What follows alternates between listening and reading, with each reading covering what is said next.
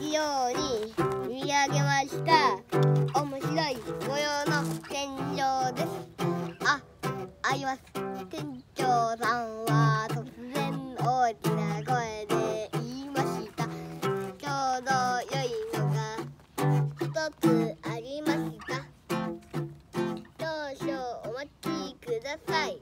そう言うとお店の裏の方に行ってしまいましたしばらくすると店長さんは箱を手にして戻ってきました。そしてテーブルの上に蓋を取りました。これは特別な帽子です。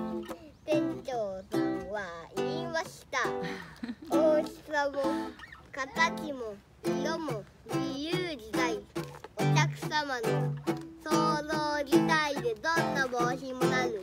素晴らしい帽子です。店長さん